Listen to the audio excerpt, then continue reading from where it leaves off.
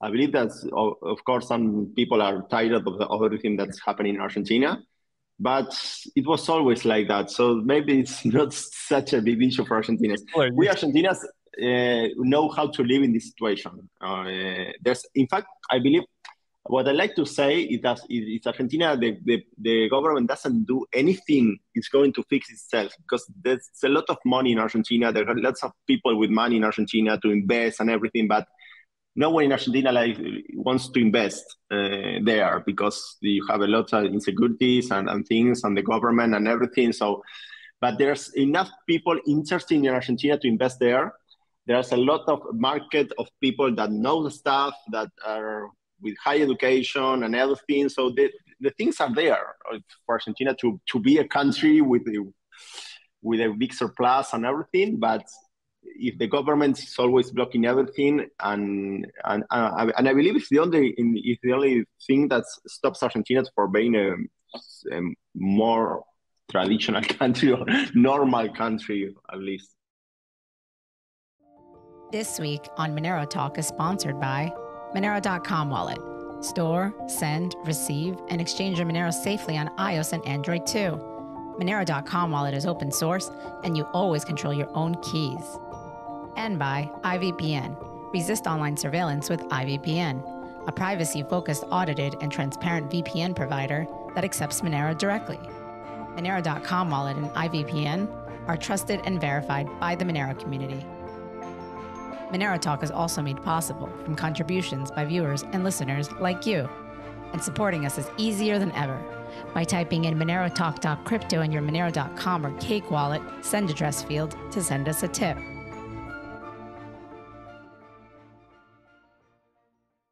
This week on Monero Talk. Douglas Tuman interviews Franco Amati, founder of Bitcoin Argentina, the biggest Bitcoin conference in Latin America, La BitConf, and early organizer of the Libertarian Party in Argentina.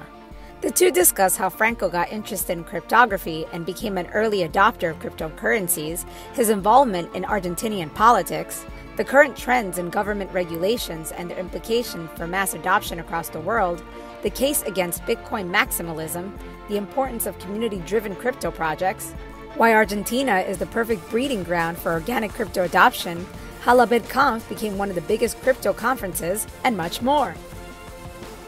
Monero Talk starts now.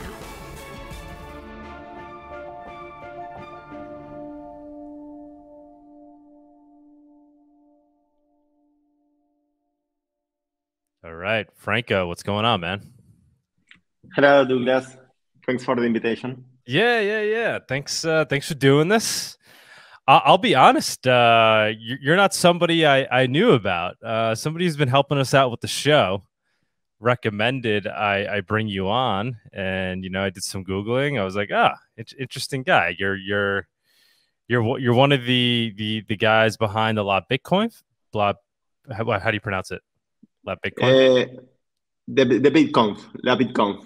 Uh, Latin American Bitcoin Conference. Yes, I, I, I, was I was there in, in the beginnings in 2013 of, of the conference. I, I, am still active in the conference. I'm not the main guy now. We have a lot of a very big team, a production team and doing the conference. I, you were, you one of the, you were like one of the uh, the originators behind it, correct? Exactly. Yes. And this time I'm mostly the treasury and, and some little stuff doing for the conference but not full time or, or, or, be active in the in the production. But, but yes, I was there. I'm not much in the Monero community, uh, to tell you the truth. Uh, this is Monero Talk. Uh, I'm a Monero holder, user, uh, and oh, it's one of the little projects that I, one of the projects that I follow some something, but not not totally active in the in the news or, or everything on in the technology point of view, right? But I, I, it was always a project that I liked because what we are going to talk about that, I believe. But there are many things that Monero has that are are interesting for me. Yeah, you're you're you're super you're super OG Bitcoiner. You know, you've been in this in in this from the beginning, and uh, you seem like the guy who's like, you know, really in it for the right reasons, and you're just trying to you know grow adoption. You want to actually see people using crypto so that's why I wanted to have you on because I mean, I, am looking for, I like to talk to people that, you know, actually know their shit. so whether whether you're you're a Bitcoiner or but it sounds like you did find your way to Monero. You use Monero, so that's that's encouraging to hear right there. um, well, yeah. So what is your what is your crypto story then, man? I mean, you, you seem like uh, you know you've been around for for a while from from what I hear. Uh, yes, I, I I was into cryptography before um, before crypto. Before cryptography, before crypto was uh, no when crypto was another thing. Okay, no, not not cryptocurrencies, but crypto using. I was a PGP user, and and I was interested in privacy things and uses about the cryptography that was more or less for for protecting our privacy and I, I, I'm and I was also libertarian.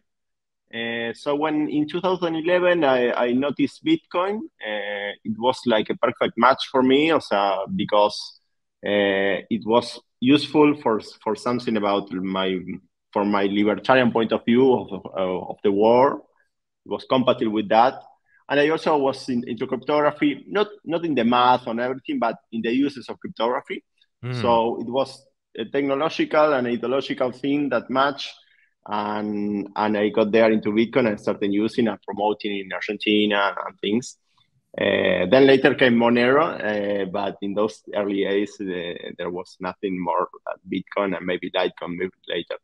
But that's more or less the, the, story. It was interesting because of, of those point of view, and it was a perfect fit. And I'm I was lucky before I believe because maybe if I had the ideological point of view but not the technology one or the cryptography one, maybe I wouldn't understand how it works and I would say mm, no, this is like a Ponzi or, this is a fake, something like that. And if I had the technology like many people, but I didn't have the ideological point of view, maybe I I wouldn't. Uh, consider privacy such in a high value that that than my like myself. So I I wouldn't be there. So I'm happy that well my hobbies was was was those and you're, here I am. You're a lucky bastard. Per- perfect combination. You had the the perfect combo going. Libertarian, also uh, into into cryptography, right? So that was that was kind of yeah. those are the people that were discovering Bitcoin, obviously in the in the early days. yes, days. I believe so. In fact, in those early days, I was in a libertarian party in Argentina. It was yeah. very a very very small party. It no longer exists. I was one of the you founders. Helped, yeah, you you helped start that as well, right? Yeah, yeah, and it was the I believe officially I don't know, but I believe it was the first. Uh, political party to, to accept Bitcoin. We started accepting Bitcoin in donations in 2012 Oh wow! Uh, and and in fact, we had really donations in those years. I, we have we were we were a group very technological, so we have some people that was donating to the party in Bitcoin. We had a, a, a one one of the guys was uh, living in Sing in Singapore, and he wanted uh, all months was donating in Bitcoin to the to the party. Did the party? we had, uh, to, uh, no, the party. Said I was I was the the owner of the wallet and I ah. was selling each time that the funds arrive, I sell it and, and I bought them for myself. but it was totally all, all, we agree. I was I needed to sell or buy for the party because someone needs to manage that strange thing that was Bitcoin in those days, uh, and I was doing that work. I, I was I was also no one one year later in 2013 I started working as a uh, exchanger, informal exchange of Bitcoin in Argentina. We, we didn't have uh, exchanges like Coinbase and, and that stuff.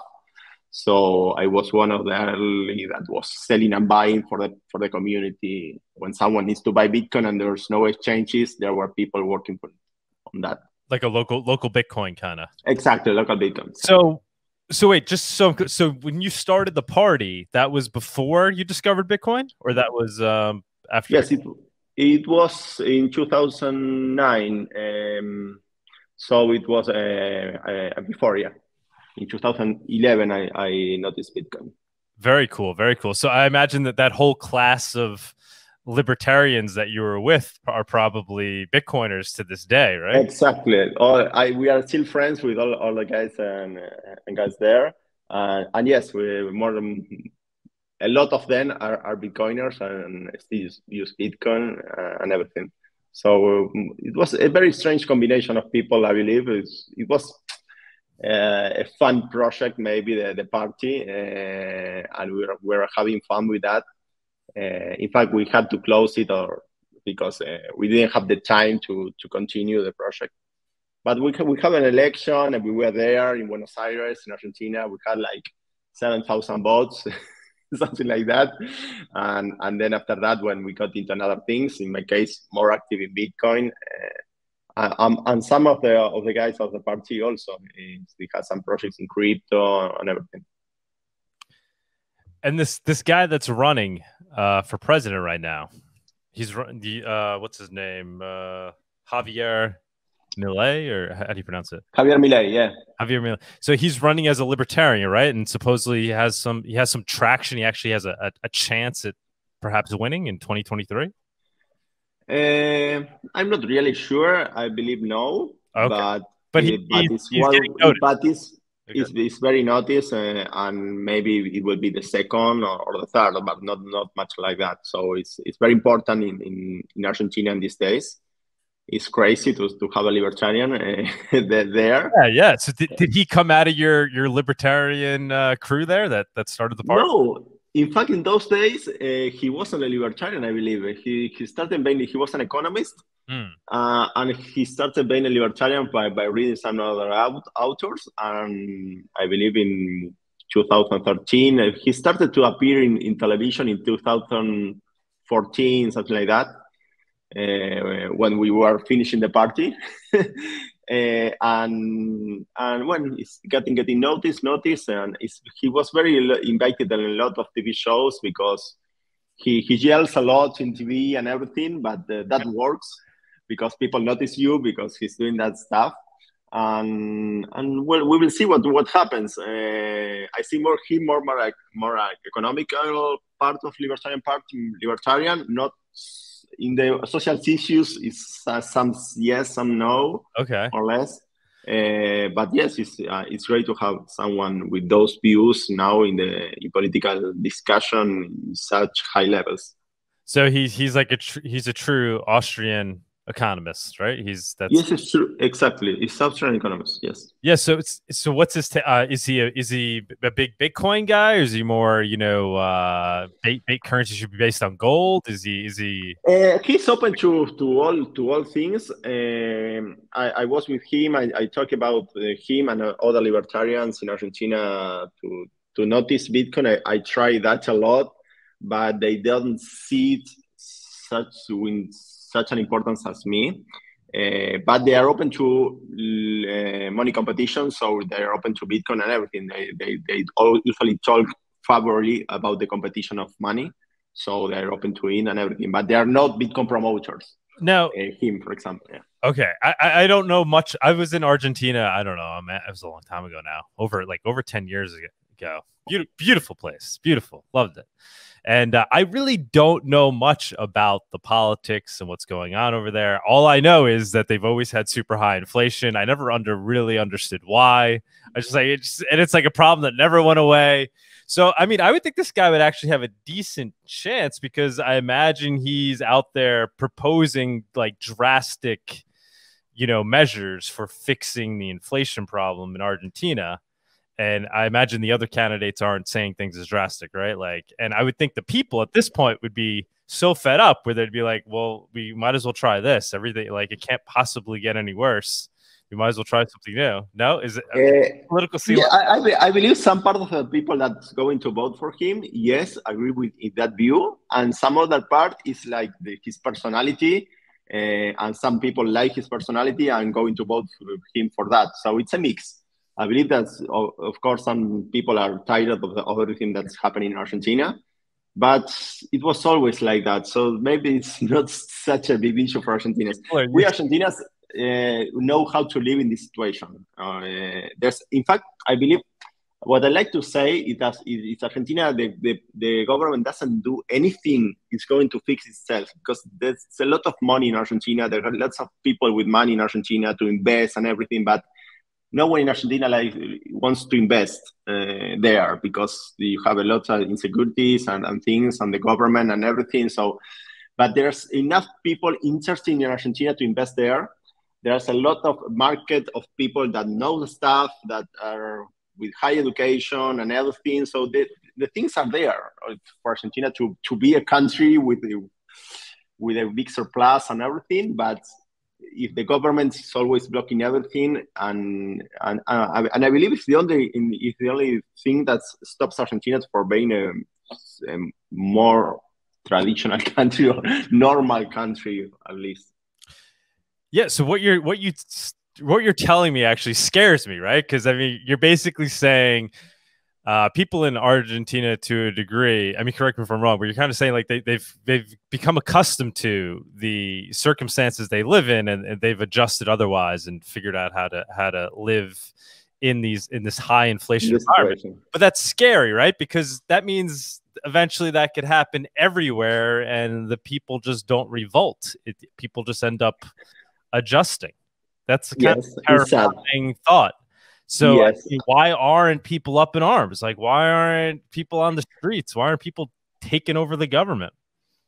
Not all people understand that maybe you take the government, okay, but comes another government that is more or less the same. More of the political class is, is a disaster in Argentina without some exceptions like Milei. But um, everything is totally statist. Uh, so it happened uh, many times that people revolt, but the, the one that came later was worse. Uh, in fact, in 2001, I believe that happened. There, we, we had a guy that was not good from my point of view, and people revolt. Myself, it's uh, revolt also. Um, and then what it came was worse. So when you revolt, you have to be ready that what can come later uh, when you revolt because in Argentina it can happen that it makes things worse. It's yeah. sad. Uh, and it does that also changed my view of the war uh, of where we go in and everything because I'm I'm not I'm an optimistic guy, yeah. but not about the government uh, governments. Uh, I see the society will manage like the Argentinian people does, but I'm very open to people that okay, we have to do things for ourselves, go outside of the grid of the government, and, and try to.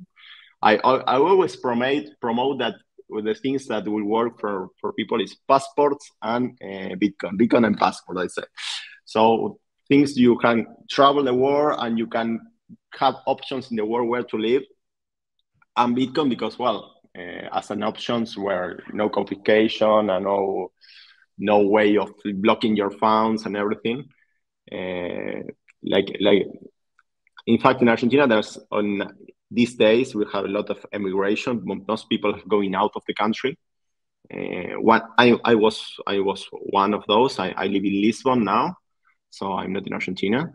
Um, and a lot of people are doing the, the, the, same. They go to Argentina to, to visit the family and everything, and then they're living abroad. But they still talking about Argentina, posting in Twitter about Argentina. You see my Twitter account, my Twitter account, and you you see sometimes things, a lot of things in Argentina uh, and everything.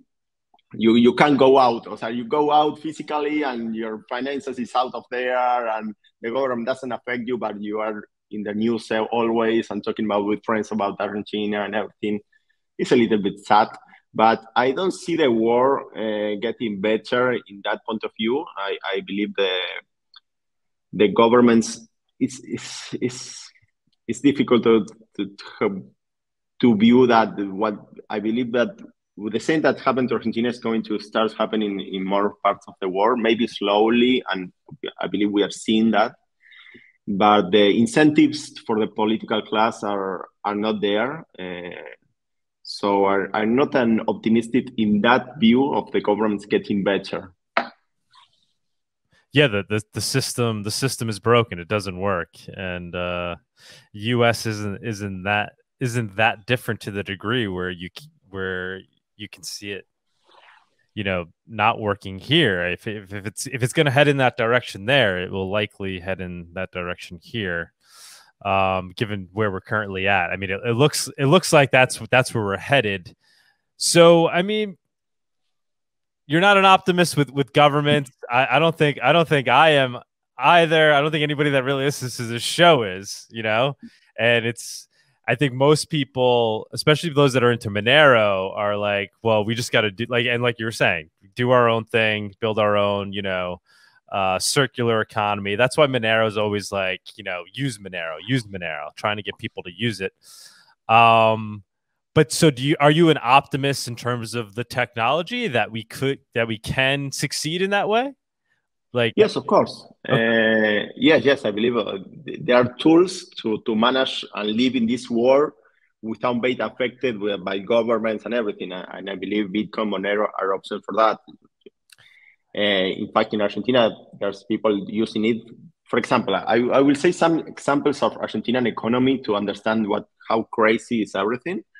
Uh, if you are working, living in Argentina, and you are working for a, for a company or for a company or for someone something and or receiving money from abroad, from outside of Argentina, if you receive the money with traditional means or bank accounts, something like that, the government will will confiscate the half of it and uh, using a fake exchange rate.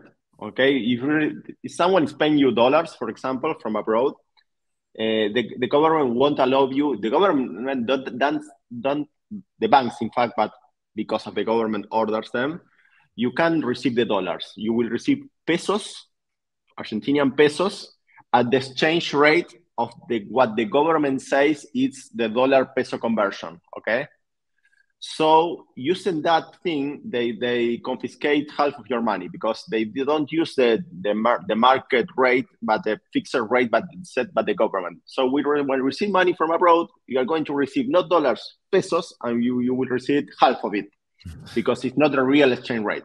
So you have a lot of incentives to use crypto and to receive the money in crypto because when you receive the crypto, the government doesn't know it, nothing that can do nothing. And, and when you sell a crypto for pesos, for example, in Argentina, they're going to use the real exchange rate, okay? The Bitcoin exchange rate or Monero exchange rate from two pesos is real because it's market driven, okay? So there are lots of incentive to receive money using that. And when you send money to abroad, uh, the government doesn't allow you to do that. exactly like that. You have to have an, a, a company and get an authorization to, to wire the money outside and it doesn't give you that for cases for an individual something like that. So you you you are also having incentive to use crypto to send the money abroad. Right so it's, lot, it's the perfect native use case for for crypto. It's like exactly know, yeah. It's one of those and you have many for example in uh, 20 years ago we have a bank confiscation so people that had money in the banks were confiscating the money and we they couldn't recharge to, to from the atm or use the money there so that's another thing is uh, money that money government that can't confiscate. That's a, another use case. And another use case, of course, is inflation. So, okay, Monero, Bitcoin, eh, they have a lot of volatility, volatility. So that some people can see that, but in the long run, they, they are better than the peso Argentina, of course. So basically uh, what i'm hearing you say so the, the, what you see is the value proposition of bitcoin is is being censorship resistant unconfiscatable and yes. and anything else and and what's and other pillars? I know you said inflation. Uh, and uh, and inflation yes. Resistant to inflation resistant or something like that. I don't know how to call it. I believe that. Well monero more or less the same of course, yeah. In, in, some, yeah. in some of those better that Bitcoin, yeah. of course. And in some of those, in one of those, I believe we can debate this.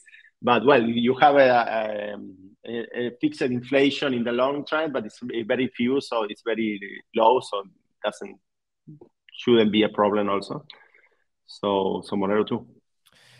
Yeah, I mean they, they really compete for for the same. Uh, they're they're really both competing to to do the that thing the best, right? I think is being unconfiscatable uh, uh, value transfer system uh, or whatever uh, un- uncensorable, right?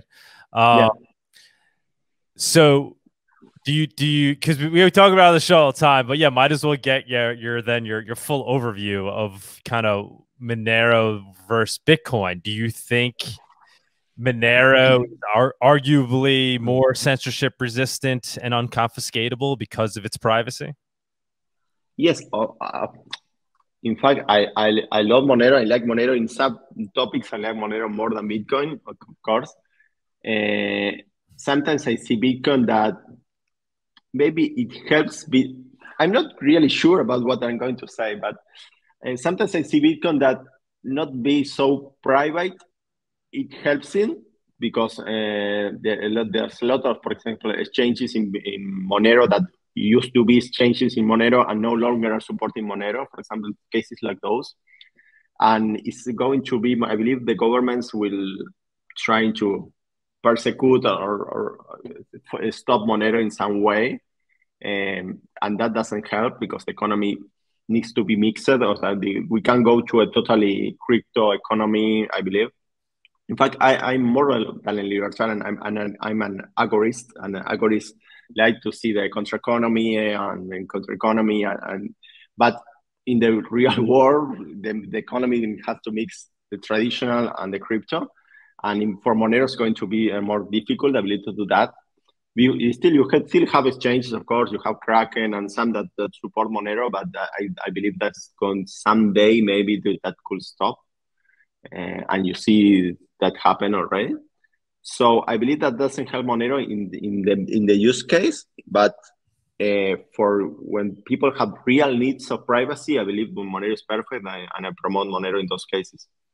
When you have a real need, okay. Uh, so you're saying you were saying the liquidity though, or, or just the the on ramps and off ramps to Monero. Yeah, I believe that. Yeah, I, I don't see the, that has going to work uh, if we get more popular. Mm-hmm because they are going to traditional exchanges are not going to support Monero, I believe. So oh, okay, we can do pitch. And exchanges yeah? will no longer be able to support it. You're saying? Yes, I believe so. It, it already happened. There were some exchanges that supported Monero and, and stopped supporting it. Uh, now, don't don't you think like other technologies will just kind of you know be invented that will make you know make it super simple to just transfer between one crypto and the other? I mean, they already exist uh, they haven't been perfected yet, right? But we have like atomic swaps, we have decentralized exchanges. I mean, do you think those things will uh, solve that problem? yeah, you can now you can now use some kind of that stuff, but when you you need to some in some moment you need to transform or convert from to Monero to fiat or traditional fiat, and and you using okay you can do that that kind of stuff, but not in the global yeah, does that, does that make it a better a better fiat killer, right? Because it forces you to ultimately stay in Monero. Like you could you could get from crypto into Monero, but then really you're gonna have to stay stay in Monero. So it like forces you to kind of build that that circular economy among people that are actually willing to accept and use Monero. Yes, but you have to be popular to get there. So I don't. It's like a chicken and egg problem, I believe there. Yeah, no, no, I, I agree. It's interesting. Yeah. Interesting it's, dynamic. It's, it's so ultimately, how do you see the two playing against each other, Bitcoin and Monero, in the future? You, did you see there being some symbiosis there among the two? Uh, there was always some symbiosis, I believe, in the community. You see, even if you see some Bitcoin maximalists, they're some of them are friendly to, to Monero. And in the Bitcoin community, there's always a lot of respect for Monero for being a um, community driven, no premine, fair land. They have some qualities Monero has that most uh, cryptocurrencies doesn't. Uh, they're they're in line with Bitcoin. For example, the Fairlands thing is one of the main of the, those. Yeah, we, we know Premine and and always the, the, the thing of Monero of not having, for example, years ago when Blue Pony was there and everything, he was doing this this crazy stuff or was going to announce something and oh, was yeah. always a fake thing. But was that was good and in fact was was, was Monero was not going to be like one of those that says, "Okay, we're now we have a partnership with that company," yeah, and he, he, he spooked all the speculators. It was exactly, yeah, I, I loved that. uh, so, so I believe there goes a lot of of, of, of things. One, and the community of Monero is is wonderful. I believe. In fact, I, I, I like the community, the Monero community more than the Bitcoin one. The Bitcoin one has there's a lot of things that I like, but there are some things I don't. Uh, some maximalist stuff there that I don't really like uh, because I, I especially like Bitcoin because of all cryptocurrencies are mostly shed, I believe, um, with premining deals and everything and managed by the people that create them. And in Monero, you don't have that. So I believe there are some stuff. Okay, you have also that stuff of being fair launch and everything in things like that, like Litecoin, for example. But Monero has something different. Litecoin has nothing. It's like doing forking Bitcoin for nothing. Uh, in Monero, you have things. You have a private privacy that's better than Bitcoin. You have some stuff there.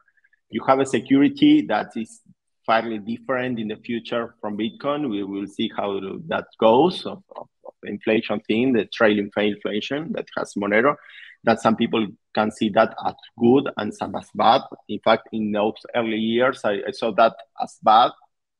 But from the scalability point of view in the future, some people are going to consider that the, the trail inflation that has Monero for everything can be a good thing for security purposes that Bitcoin maybe in some decades uh, has something like a problem when in the, fee, if the fees are not enough for the security and that Monero has already fixed it. Okay, so we're going to see. But uh, I, I like Monero to be there. I, I I'm a holder of Monero. Uh, I I only use and have three cryptocurrencies: that's Bitcoin, Monero, and, and Ether.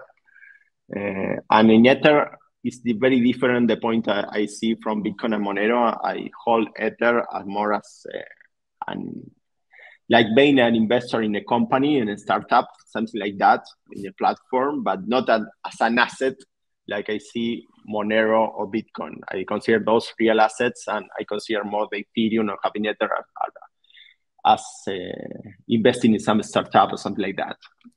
I, I differentiate the stuff. How about just the the kind of unstoppable nature of these things, right? So like you're saying there's a there's a chicken and egg problem there, and I, I agree, right? So like what what really is Bitcoin's greatest advantage is its current network effect and essentially its liquidity. That's the same thing. They're both really the same thing. And the fact that it it seems to work in the current paradigm of of regulation, right? There's not a we're exactly. not a drastic change to what governments are, are typically used to dealing with. Yeah, you you said better words than mine. I was trying to say yeah. that before. It, it, ultimately doesn't, but see, but that's that's where I take. So it ultimately doesn't dis, disrupt governments to the greatest degree, and and Monero is arguably more disruptive if it were to be adopted uh, to the level that Bitcoin is adopted and, and will be adopted too. That's so, why I like to have both. It's like yeah. those, those, are two attacks, different attacks. One more main, mainstream and, and that, that mix with the government better, and the, right. other, the other more agorist or more libertarian agorist that say okay, our own way, totally opposite of that, and we, we're going to see. But, but, but do you think? I guess the question I'm getting at. But do you think B- Bitcoin takes a risk with with having what what we're saying is uh, categorizing as a benefit, could it potentially be a, a, flaw at the end of the day because it allows governments to co-opt it, and then it essentially fails in that regard? I don't Where see that happening totally. It continues to exist forever. Maybe even numbers somehow miraculously still going up, but it's kind of been defanged. Uh, it's just this perfectly taxable tool, surveil tool I um, believe we, we can work on that. I, am not a white a white flag in Bitcoin is already that happened. No, I believe we can fight that, and we are doing that. Uh, in fact, having your own node and having your wallet and holding your keys and everything, you have a, that stuff a lot in the Bitcoin community. So there is fight there. There are resistance to there. It's not that all people are holding the Bitcoin in exchange and transfer between exchange and that stuff. Because if, if we are going there, okay, that's going to happen what you're saying.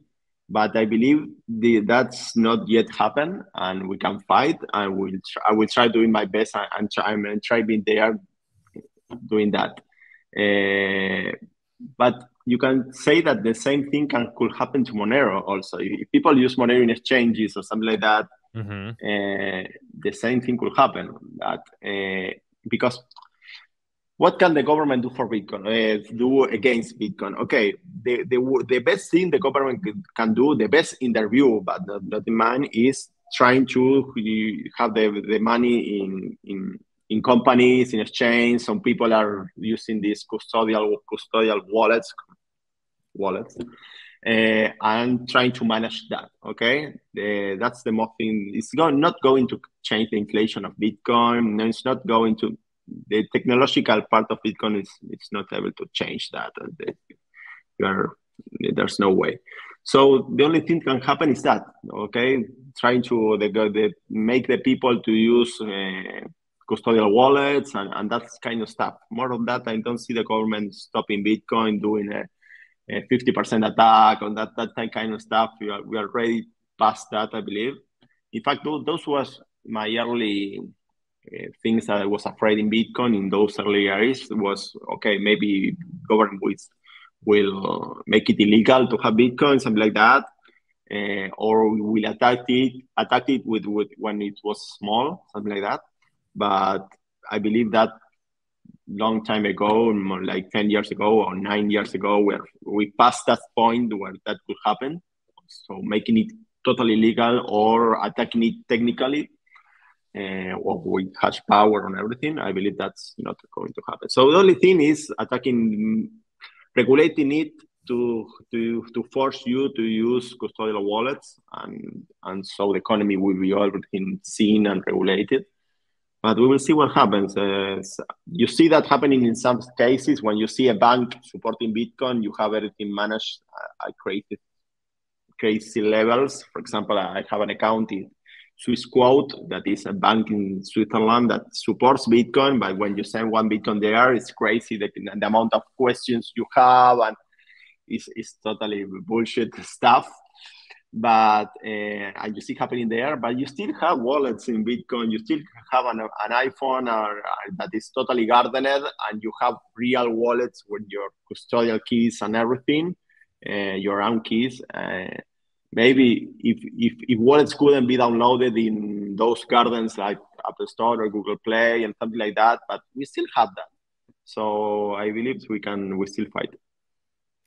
Do you see it potentially uh, becoming compliant in terms of mining uh, and transaction validation, where large miners essentially start to get controlled by governments and implement you know, uh, start essentially well, blacklisting transactions at the at the request of governments? Well, we started seeing that not at request of government with with Marathon uh, miner from Bitcoin miner. Then they stopped us doing that, but the community started to read to, to to notice the topic and posting in Twitter, "Hey, Marathon, why you are not uh, proceeding that transaction and everything."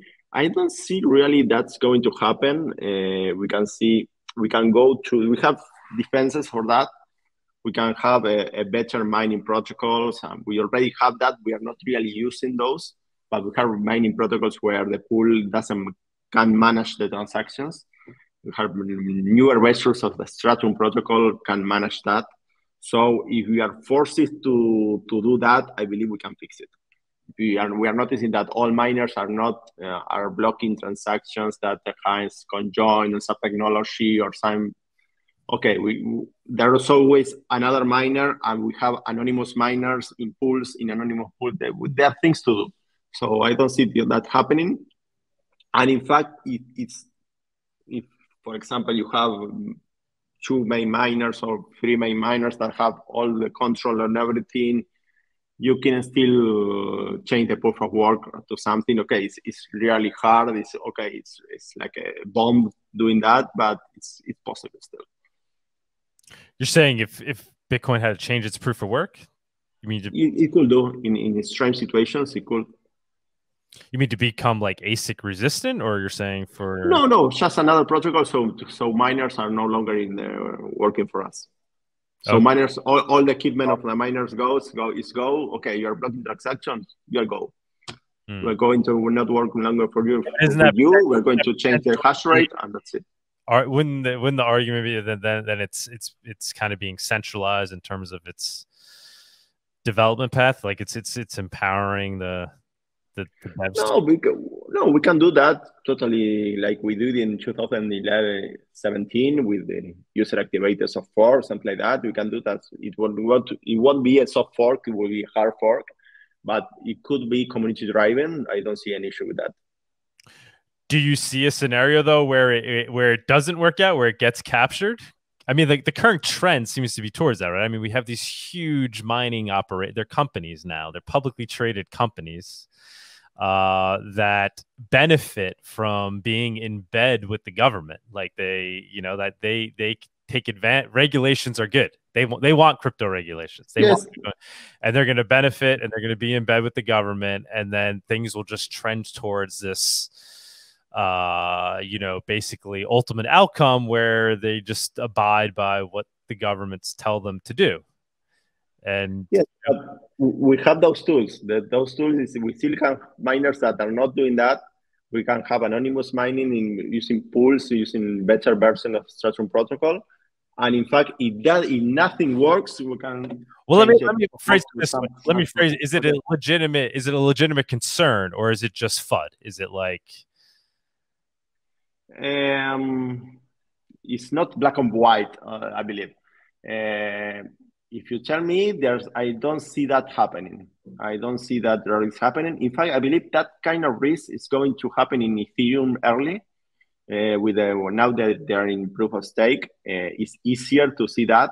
Mm. Uh, if, if big stakers are companies or something like that, uh, the same thing could be saying about that and the, the community it should be a community driven thing. When in, in ethereum it's very difficult because you you can attack the the stalk the, the one that's stalking the taking the stake and everything but we are going to see that early i believe in ethereum than in bitcoin.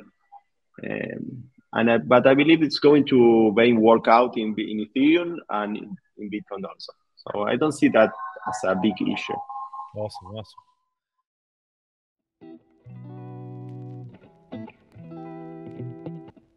Do you love coffee and Monero as much as we do?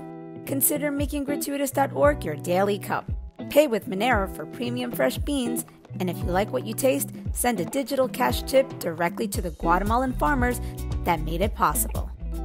Proceeds help us grow this channel, Gratuitous, and Monero.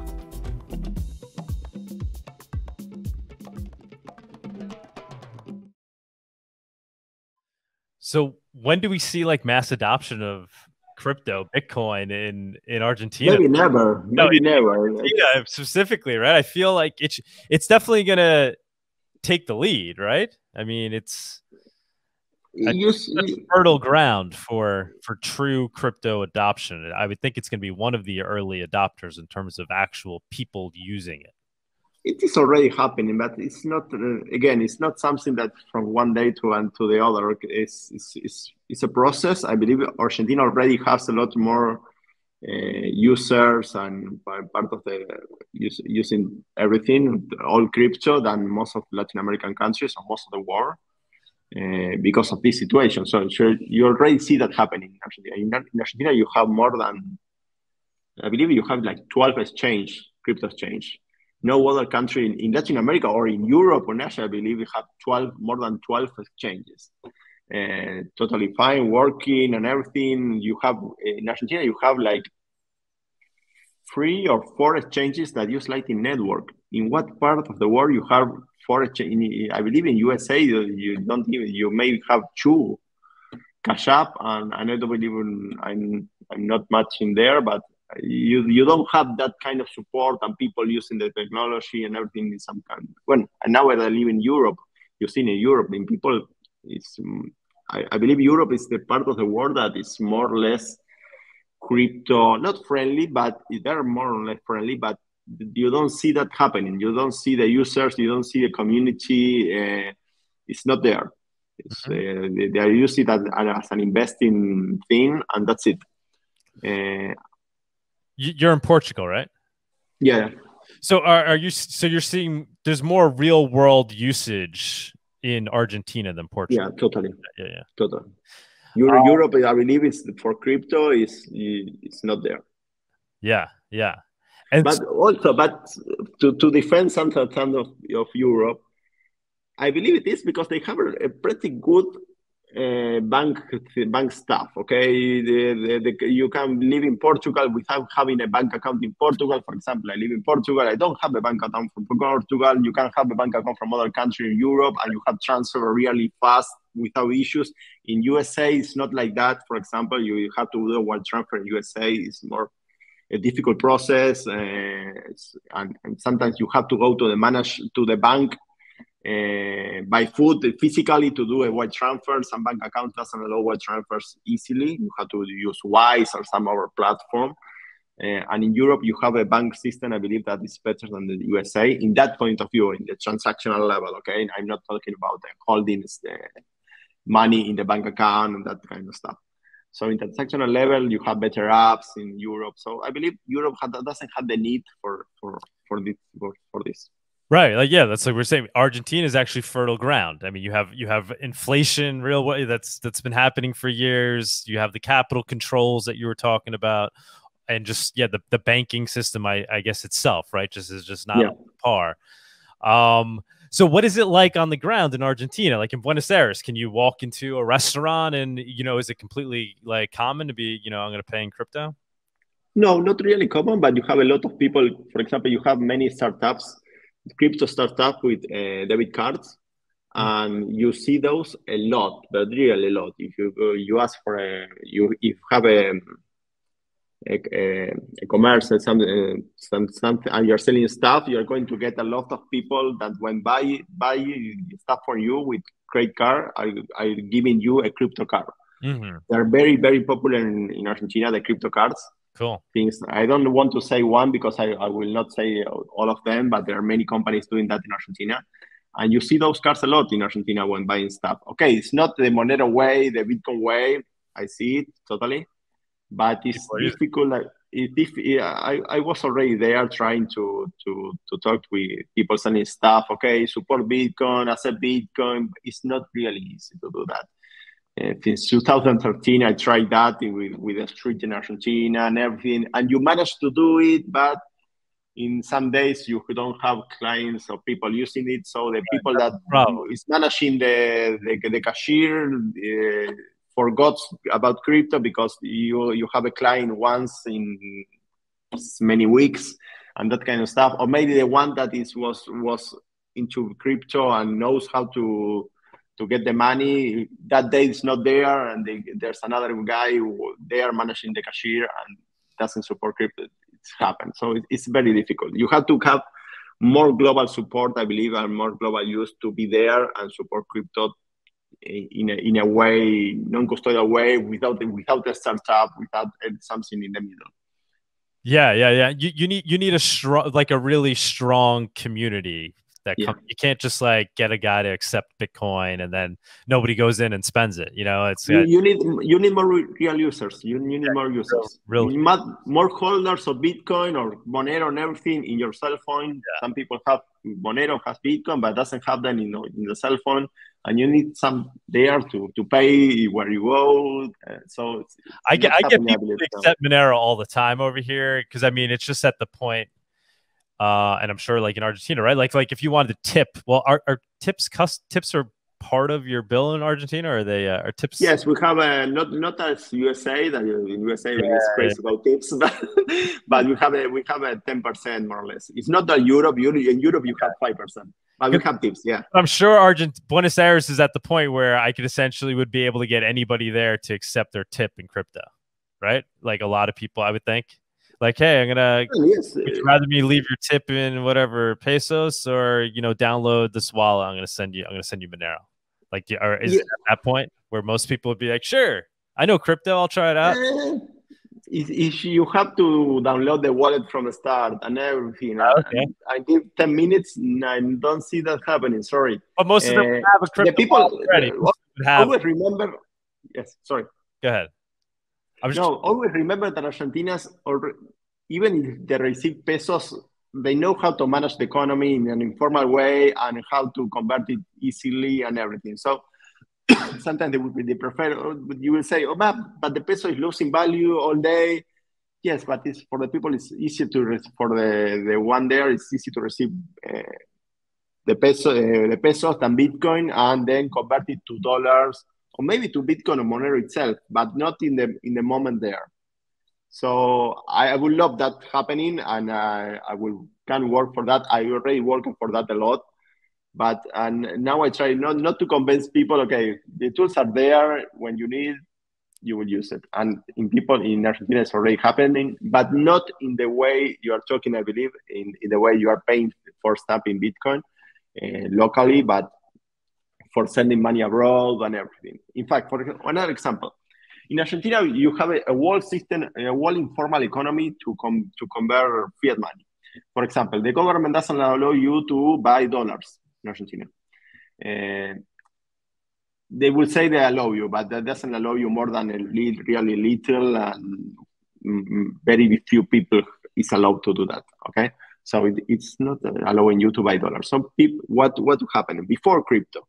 Uh, you have a lot of places where you can illegally, technically legally, you can exchange rate pesos to dollars or euros and everything. Okay, and you have a lot of these offices. Each town has at least one of these offices, illegal offices, so people can convert it. For example, you receive the, the salary in pesos, but you can save a little, you can save in pesos, and that little you, you convert it to dollars eh, before crypto, okay?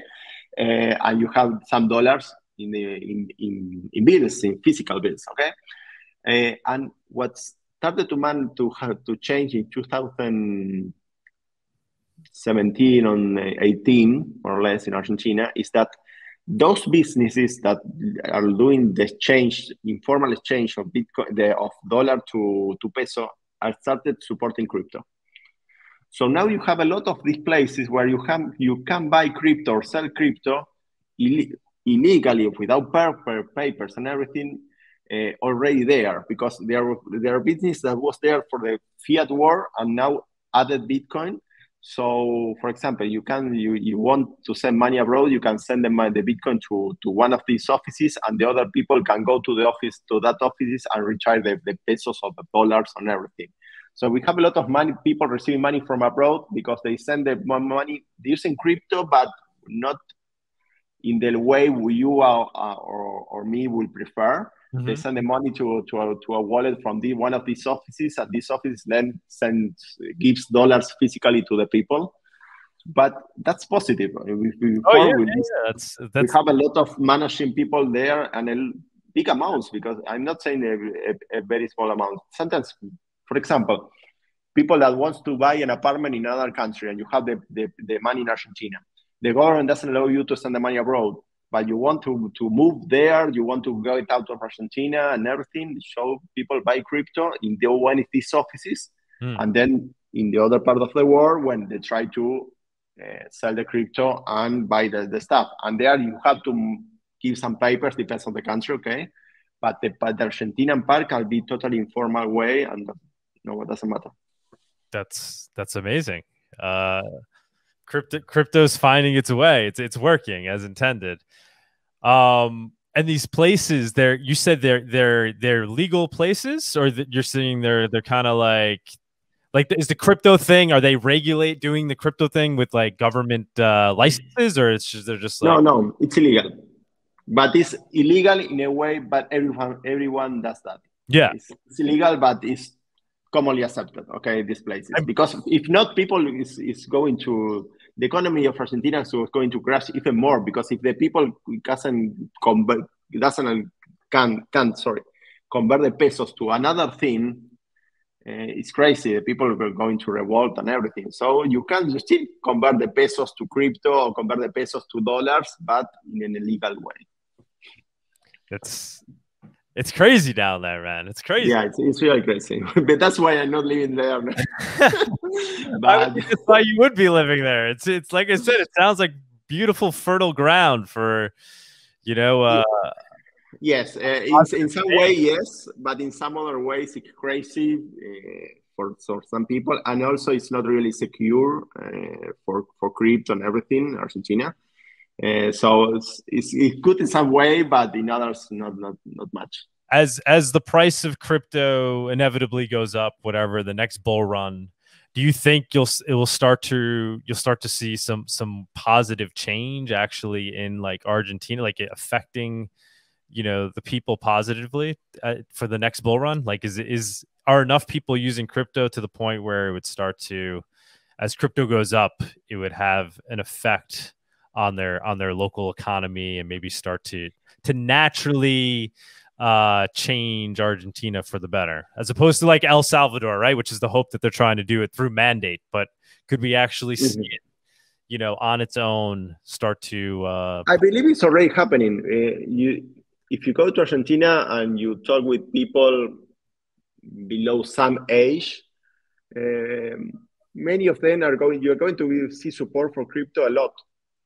Um, those people having the cards, the, these cards, uh, crypto cards, is really popular. And many um, people that's working from abroad is not real big companies, some designers, uh, developers, something like that, and they all all manage their money with crypto because they receive from abroad and they need to receive, for example, if sometimes they have a bank account in USA or in Uruguay in some country to receive the money there because the company that pays them uh, doesn't want to give them crypto. So they have a account, abroad to receive that, but, but when they spend in Argentina, they need to move the money to Argentina and they use crypto because of that. Because there are some other things they can't use. You, if you go to Argentina, you can't use a credit card or debit card from abroad. If you use, for example, you have a bank account US, in USA, uh, and you say, okay, I will live in Argentina, and it doesn't matter because I have the bank account in USA, I have the debit card from USA, I'm going to Spain in Argentina with debit card. Okay, easy stuff. I don't need a bank account in Argentina. No, it, it doesn't work like that.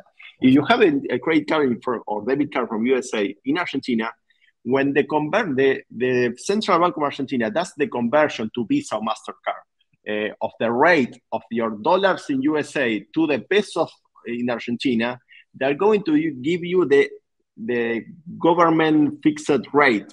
So you are going you're going to lose a lot of money. You have a going to have a 50% complication. So you can do normally use debit cards from abroad in Argentina. In fact, this now that the pandemic is over and everything, it's a very big issue in Argentina when the tourists came because the tourists in Argentina that can spend in Argentina, they had to go go with bills everywhere because if you go with a debit card from abroad in Argentina, you're losing money.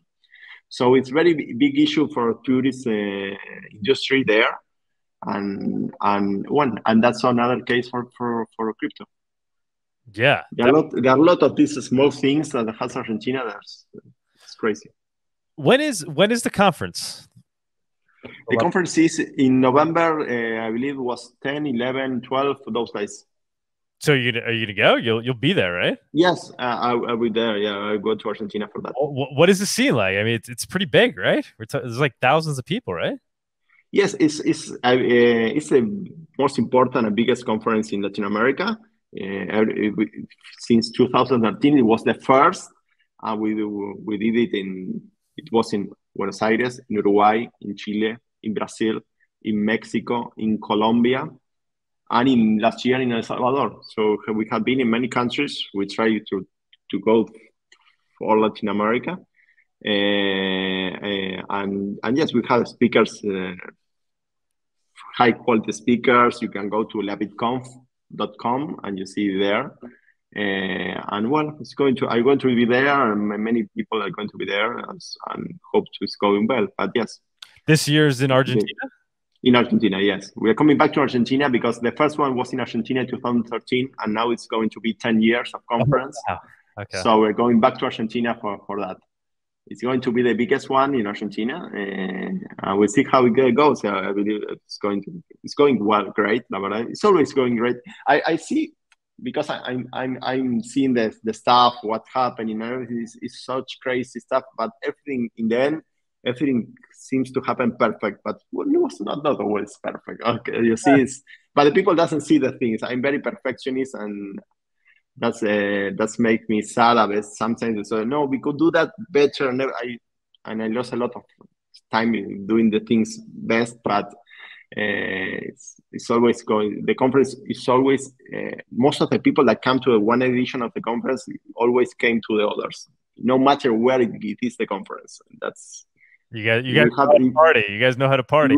we have a community that goes each year to the conference, no matter in which country it. It's not that the conference, okay, this time is in Argentina, we're going to have Argentinian people see it. Okay, some part of the public is going to Argentina because in Argentina, but we had a lot of community that is La BitConf community that goes no no matter where it is because we try to make the the events uh, open to for people from abroad. We always do some kind of local stuff from people that doesn't live in that country and to show that country to the people that's coming. Oh, so try, we try to do, to do that, you know, and for the speakers and everything, they see. The, sometimes the speakers see that as as a mix. Like, okay, I go to a conference, but I also doing tours in that country because these people are going to show me that places locally and everything. So some speakers love that, and it's oh, yeah. a way for us to have the speakers to be there.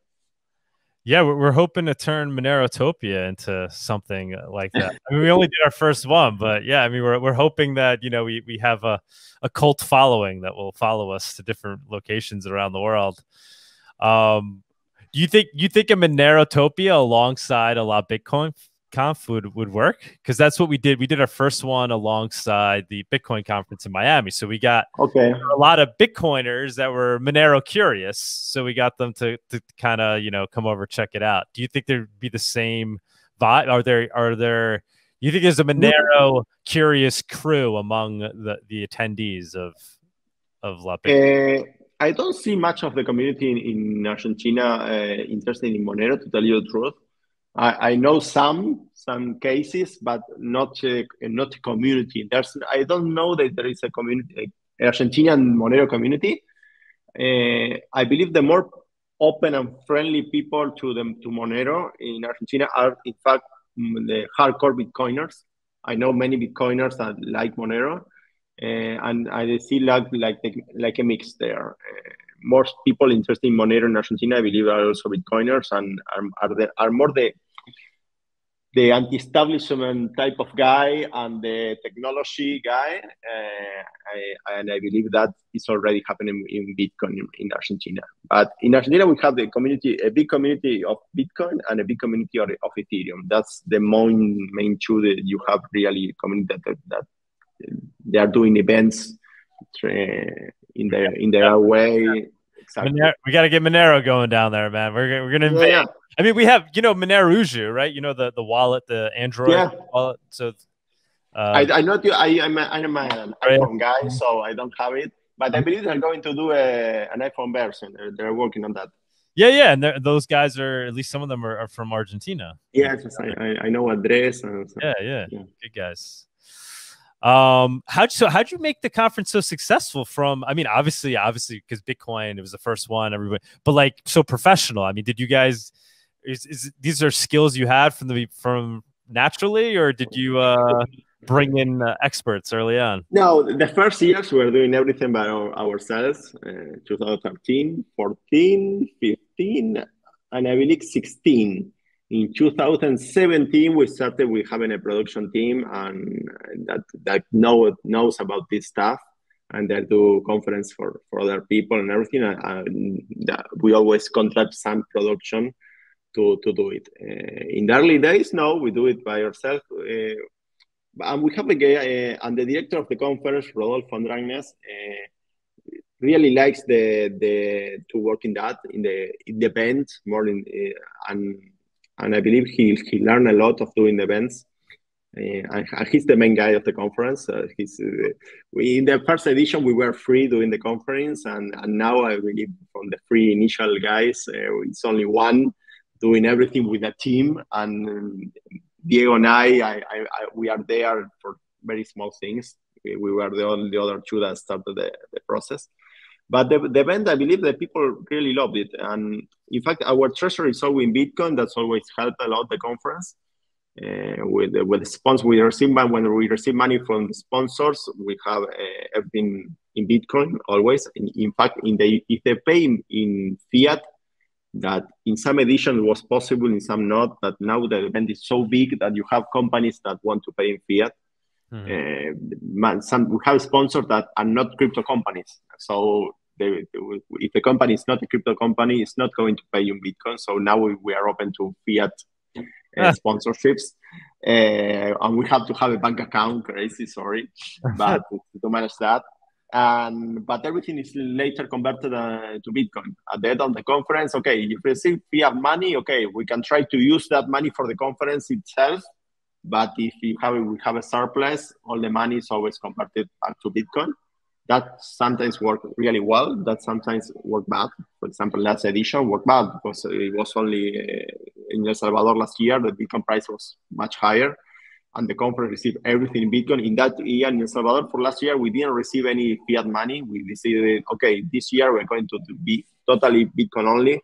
We only receive a sponsorship in bitcoin. The, the tickets are only selling bitcoin and last year was a special case we were really bitcoin only uh, but well, of course, the money uh, the price of Bitcoin is going went down, so the, the edition economically it was not great, but the, the event was totally a success. But in the long run of, of the of the, the, the conference, uh, holding the Bitcoin will always work fine. Oh yeah. So we're, we're happy doing that because okay, 2013, 14, 15, those years it was always in Bitcoin. So and then, then the, we have some support. Okay, if things go bad, we can manage to to hold a year, two years. It doesn't it doesn't it doesn't go into break us to do that. So we're still holding having the treasury in Bitcoin, and I love to do that because having transactions in fiat with for an event is really crazy. Uh, it's real it's a pain in the ass to, to tell you the truth. Uh, when we have sponsorships and everything in Bitcoin, it's so such easy. We have a multi-sig wallet, okay, we, but the money's going there. You see it in real time and everything. And when you receive a sponsorship in in fiat, in fact, this year uh, we are doing a, a big discount. I, I, don't remember it was twenty percent or fifteen percent if you pay in Bitcoin because the the amount of work we need uh, when you you pay in fiat is is crazy. To talk with the bank, no, the wire didn't arrive, but the company site is sent, but not there. What happened? When sometimes we have, in fact, we have a we have a foundation uh, created in Uruguay for managing the fiat part of the conference. Okay, uh, and with a bank account and everything, but we selected putting the, the name of the, the foundation is Bitcoin Iberoamerica. And, and we have some wires from USA that were blocked because the foundation has had Bitcoin in its name. So the, the when the wire was not getting there because the name of the receiver was has something related to Bitcoin. We managed to work that, that out with that company, um, but but well, it's, it's really the different works. It's a different oh, yeah, yeah, stuff. We're, we're, we're the same way. Monero Topia was all Monero, only uh, sponsors paid, uh, all all in in Monero. It's so um, easy when it's there like that. Actually, one paid in in another crypto, but then we converted it into Monero. Um, okay. And uh, yeah, and then all our tickets were sold in in Monero, and then yeah, we we tried to get our vendors and people like things. We tried to get people to accept Monero, you know, for our expenses. Like we got our printer which was huge because we, we were printing it. We printed out like a lot of banners and stuff. We got him to agree to accept Monero, and so yeah, I mean, it, it's just, we we do the same. Yeah, yeah, yeah, yeah, And obviously, the bigger you are, the the easier that is to do. Um, but yeah, it's an opportunity to uh, you know create that that circular economy.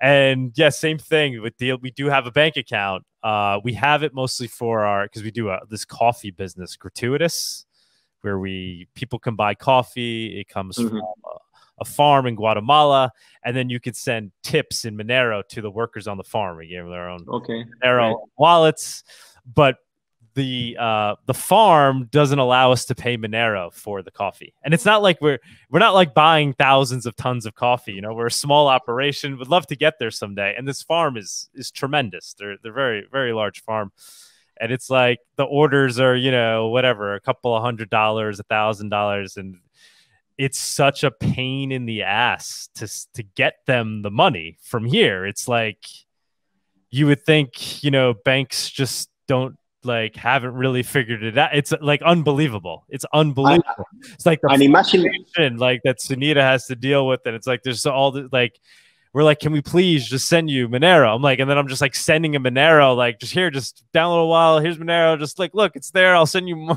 more than the cost of the thing. I just want to get you used to it. We don't have to deal with this. I'm like, it doesn't make any sense, man. And imagine that doing the conference in some part in fiat in Argentina. That's even worse because you have the foundation in Uruguay, but the Uruguay Foundation can't pay the stuff in Argentina because of these capital controls. So we are going to, when we are needing to use crypto in itself, converting some fiat to crypto to pay things in Argentina. And to pay things in Argentina, we have another society. We, we have for another thing four years ago when we had another, a place called Espacio Bitcoin that was a co-working space, and we have a society for, for, for there, for that. And we are using that society. It's, it's crazy. To manage fiat in South America and in Argentina with money from abroad is, is totally depending on the ass, even worse than your situation, I believe me. So what, what another thing good from the conference is that uh, everything the money received once is paid is always spent in the next year conference or in something related to, uh, to Bitcoin. It's, it's a non-profit.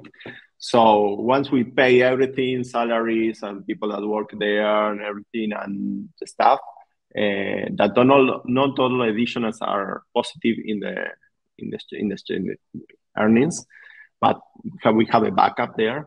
Um, all the money is is is, is spent in some other thing that for for Bitcoin. For example, for many years we had the, the La Bitconeta. La Bitconeta was a band that traveled from Argentina to to Colombia, more or less, to many countries doing meetups. In each countries go. We did in Argentina, in Uruguay, in Chile, in Paraguay, in Bolivia.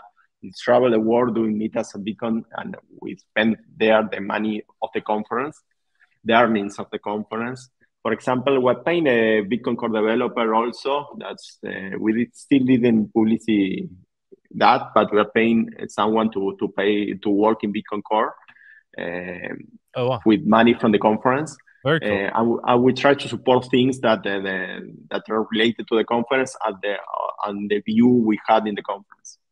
Very cool, man. Very cool. Respect. uh, so what is it that what are you focused on personally these days? What what what project are you are you working on? Uh, these days, in fact, not much to tell you the truth. In my personal life, is I, I just have a baby, a daughter. Oh, congrats! Um, that's, that's a big project. That's a very important project. Yeah, thanks. It's, it's, it's new in my life. This it's the first time I'm, I'm a baby daddy.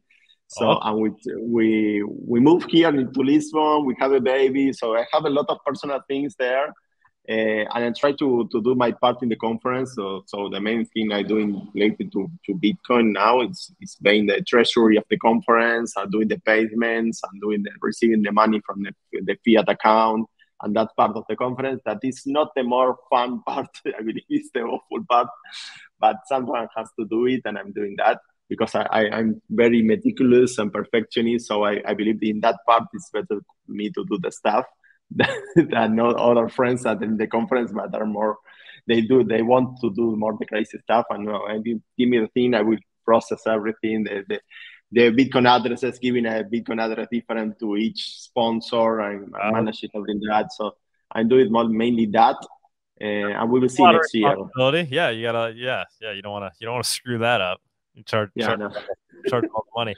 Has has your perception on things changed at all since being since being a new father? Has there been like a, a noticeable change in, in your in your worldview? Have you like adjusted adjusted your, maybe your risk profile in life? Have, has there been an effect?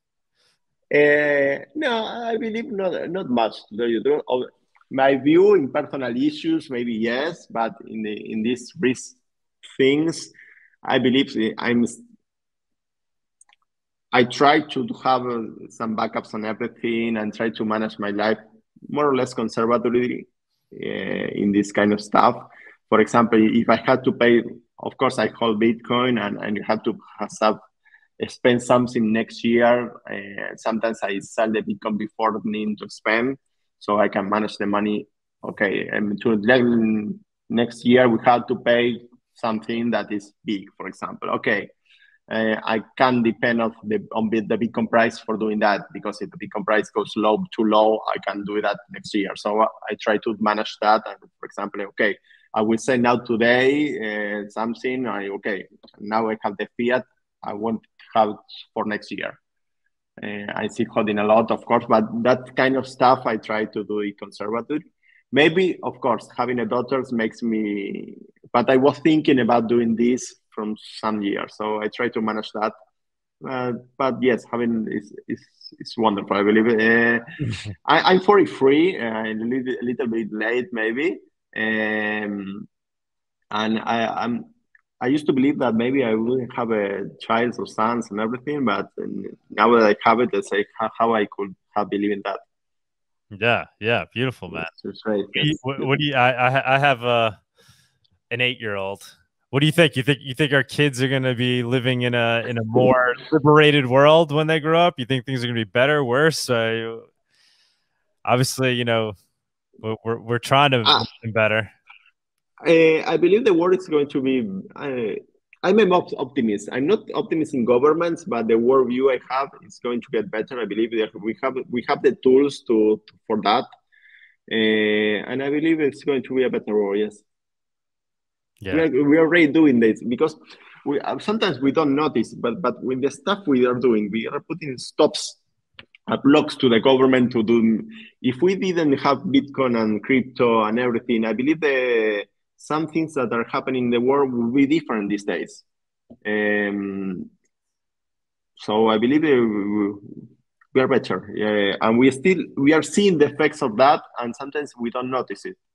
For, for example, a lot of the company in Argentina from going abroad and everything is still done in crypto. My life is even if, for example, even if I, if I didn't hold any crypto, I'm still doing managing crypto for doing transfer in the world. I have a bank account in different countries, and sometimes I need to manage money, and I use crypto for that.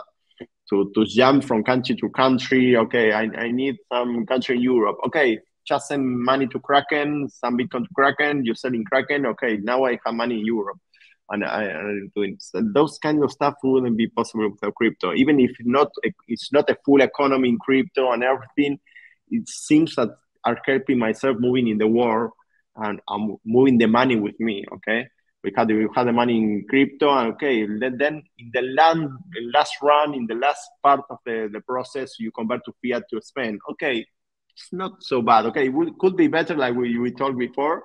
Yes, it could be better. We can we can have all the process, but maybe you can have the, the the holding part by yourself, and that, that's a really important part because in, you have situation where you can hold the money with without crypto and you lose it in banks, you lose it in confiscations. You can go to uh, some parts of the world are, are using gold for going to and they're confiscating in the customs and everything. It's, it's, so even if we're, we're achieving that, having the money in crypto and then spending in fiat is is still a success, I believe.